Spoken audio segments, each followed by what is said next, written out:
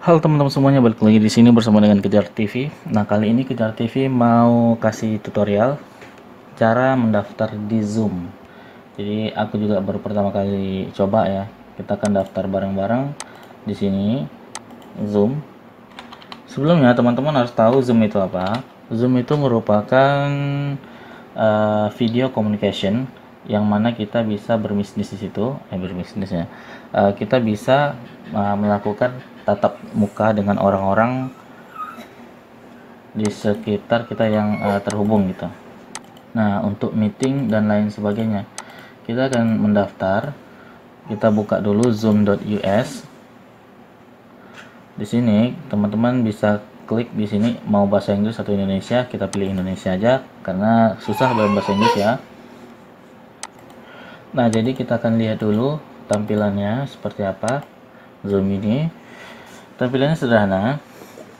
Di sini ada minta demo, sumber daya, dukung, uh, bergabung, paket harga, solusi. Jadi ada dia ke, ada gratis dan ada berbayar. Kita lihat plan and pricingnya.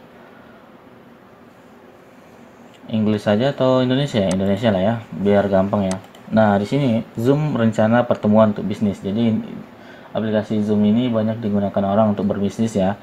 Untuk meeting dan rapat dan sebagainya bisa menggunakan Zoom.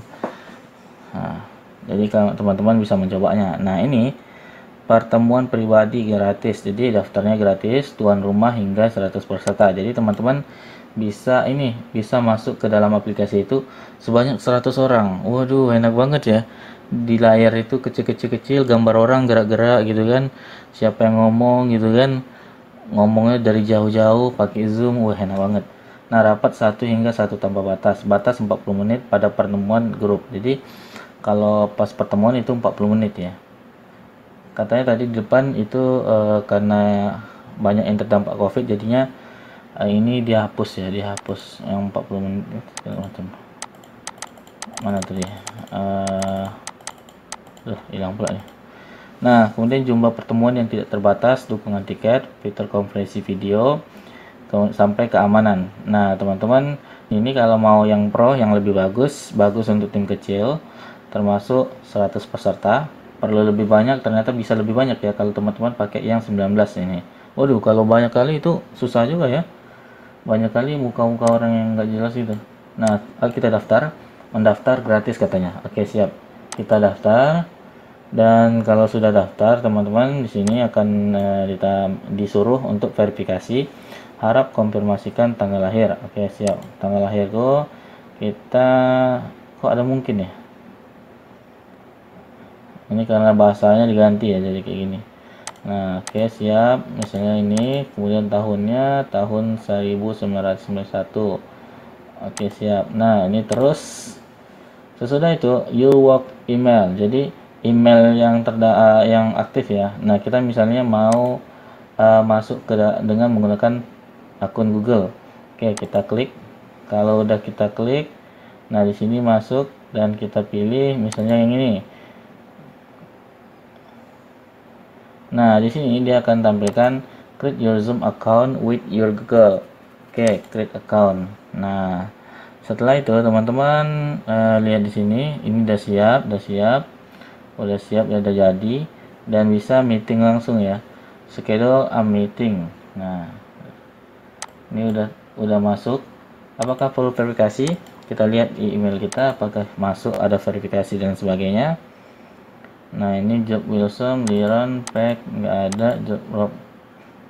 Kemudian di bagian spam juga nggak ada. Berarti nggak ada ya? Langsung aja berarti ya? Nah my meeting kita langsung bisa meeting. Atau webinar. Kita langsung webinar di sini. Teman-teman lihat zoom webinar pesertanya banyak ya yang bisa masuk uh, join a meeting join a meeting. Nah nanti kalau teman-teman mau join kan ada dia bagikan uh, meet, apa kode-kode. Nah teman-teman masukkan kode itu baru join. Oke okay. schedule a meeting bisa juga kita mau schedule meeting kita. Di sini uh, with video on plan and jadi seperti itu, itu aja ya. Kalau kita mau uh, mendaftarnya bisa gampang banget nih. Udah gampang banget ya. Nah cara untuk menghapus akunnya macam mana gitu ya? Gampang banget ya cara menghapusnya. Misalnya teman-teman nggak mau pakai lagi ya aplikasi zoom ini. Nah di sini kan kita lihat nih basic dan sebagainya nih data-data kita. Host key kalau kita mau menghapusnya teman-teman silahkan ini. Zoom tadi uh, zoom akun google keamanan kalau nggak salah ya keamanan akses aplikasi akses akses aplikasi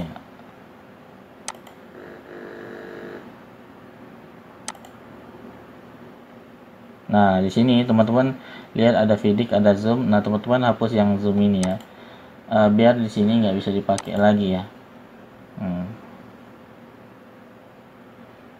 Oke, siap. Personal ID-nya dapat uh, setting kalau mau setting sini partisipannya siapa recordingnya ada teleponnya juga uh, supaya bisa nanti kita bicaranya